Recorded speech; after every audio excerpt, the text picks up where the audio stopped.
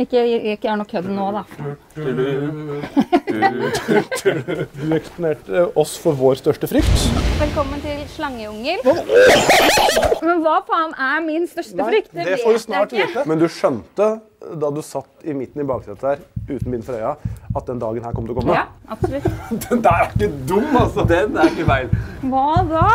Det er på en måte Idas stil, da, tenker jeg. Jeg tenker det. Stil? Ja. Akkurat. Den er ikke kjedelig. Den er ikke kjedelig. Vær så god. Stig inn. Kom igjen. Kom igjen. Kom inn. Her er det helt rått. Sånn. Se opp. Kom inn her. Jeg vil ikke! Det eneste egentlig bare for oss å ønske lykke Lykke til. til. Kos deg. Kos deg. Jeg skjønner ingenting. Mats sa jo det er din største frykt. Min største frykt er jo å gå på date. Vi skal nå gi henne verdens verste date. Eh, vinneren av reisesjekken. Her kommer han. Espen Vammen! Hey! Var ikke dette en kjekk gutt vi har henta fram? Nydelig type. Hva er det verste som kan skje på en date? Jo, det er å møte svigerfar for første gang. Og så skal vi sitte på bakrommet og bibånde det hele. Nå må vi skynde oss. Nå kommer han snart. Er det russefest jeg skal på, eller?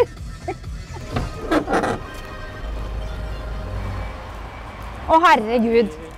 Hei. Takk Men hyggelig å få del to av daten. da. Ja, Skal vi gå inn og ta en kaffe, eller? ja. Det skal vi. Her, eller? Nei, jeg må ta den. Sorry. Hallo? Tenkte at det var hyggelig å ta de samme slengene. Kan du møte pappa? Han er innom i byen en tur. Hei. Hei. Ida, hyggelig. Hei. Mhm.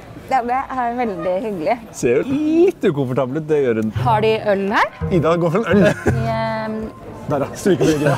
I VGTV. Espen har jo snakka mye om det. da. Han liker det veldig godt. da. Er det gjensidig, eller? Altså, liker du Espen, eller? Altså, nå har jo vi bare møttes én en gang før, da. OK. Ja, Og det var jo ganske god kjemi, da. Så det er noe å bygge på. ja da. Vær så god. Ida hater deg. Ja, og kanskje gifte seg og sånn. Men har dere tenkt på det? Om vi har tenkt på det Ja. i, i, sammen? Ja. Nei, det vil jeg vel ikke si at vi har. Ja, Da har kanskje du sendt litt tvetydige signaler, da. Men uh, Ja, klokka, klokka tikker jo på en måte. Den biologiske klokka den tikker jo litt. ja det er helt riktig. Nå drikkes det. Har dere vært sammen sånn eh, sånn eh, Nei, nei, nei. nei det Man må jo nesten det hvis man, hvis skal, hvis man skal få barn med så, så forutsetter jo på en måte det at, eh, at man liksom Ja, Ligger sammen. ja, ja ligger sammen. Ja, ja, Ja, det- det Du har vi- ventet ekteskap med det? Eh, Ja, absolutt. ja. Vi ønsker jo gjerne å få barnebarn, da.